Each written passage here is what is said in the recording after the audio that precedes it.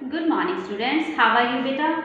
Yes. Today I am going to tell you about our national flag. You know that uh, our national flag is तिरंगा हमारा जो राष्ट्रीय ध्वज है वो क्या है तिरंगा और आपको राष्ट्रीय ध्वज के तिरंगे के बारे में सब कुछ पता होना चाहिए कि इसकी लेंथ वेट कितनी है और ये कितने अनुपात का है ठीक है लेंथ और विड्थ इसकी कितने अनुपात की है और इसमें कितने कलर हैं ये कलर किस किस चीज़ के प्रतीक होते हैं ये सब कुछ आपको बातें पता होनी चाहिए। ओके अभी मैं आपको समझाती हूँ।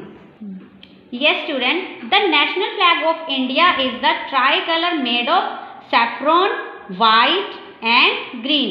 जो हमारा नेशनल फ्लैग है वो कितने रंगों से मिलके बना है? तीन।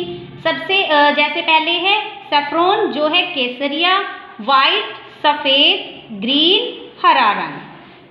Yes it shape is rectangular with the ratio of length and width three is two yes इसकी शेप कैसी होती है? फ्लैग की शेप कैसी होती है? इसकी शेप होती है रेक्टेंगुलर जो कि आयताकार, हिंदी में इसको बोलते हैं। और इसकी जो लेंथ और विथ का अनुपात कितना है? तीन अनुपात दो है।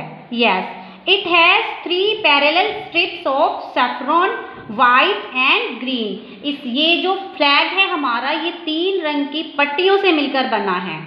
Yes student in which saffron is arrange at the top जो सफ्रोन कलर है, वो कहाँ है? सबसे टॉप में है, सबसे ऊपर है। ये पता होना चाहिए आपको कि कौन सा कलर ऊपर होता है। Yes white in the middle white कहाँ पे है? मिडल में है, जो सफ़ेद रंग है, इसके बीच में है। And green colour at the bottom जो ग्रीन कलर है, वो फ्लैग में सबसे नीचे होता है। ये स्टूडेंट अब मैं आपको बताऊँगी कि ये जो हमारे रंग हैं केसर या सफ़ेद, हरा, ये किस चीज़ के प्रतीक होते हैं। ठीक है? यस सबसे टॉप में क्या है? Saffron colour saffron colour symbolises bravery and sacrifice saffron colour जो होता है, बहादुरी और और त्याग का प्रतीक होता है। White colour truth and peace जो सफ़ेद रंग होता है, वो किसका प्रतीक होता है? ट्रूथ होती है सच्चाई और पीस होती है शांति। ये सच्चाई और शांति का प्रतीक है। And green colour symbolises greenery जो हमारा हरा रंग है, वो हरियाली का प्रतीक है। ये स्टूडेंट अब मैंने आपको जैसे इसकी लेंथ विर्थ बता दी है, इसमें जो कलर है वो बता दिए हैं मैंने आपको, और ये कलर जो है किसका प्रतीक है वो बता दिया है। अब ये जो बीच में सर्कल है ना, मैं आपको अब इसके बारे में बताती हूँ बेटा। A circle of blue colour is made in white colour strips जो सर्कल जो ये ब्लू कलर का सर्कल होता है ना फ्लैग के बीच में बना हुआ, ये ब्लू कलर का सर्कल है, जो वाइट कलर की स्ट्रिप से बना हुआ है विच इज़ कॉल्ड अशोक चक्र इसको क्या कहते हैं? इसको बोलते हैं Ashok Chakra there are twenty four spokes in Ashok Chakra Ashok Chakra में कितनी स्पोक्स होती हैं? ट्वेंटी फोर मतलब कि इसमें चौबीस तिलियाँ होती हैं.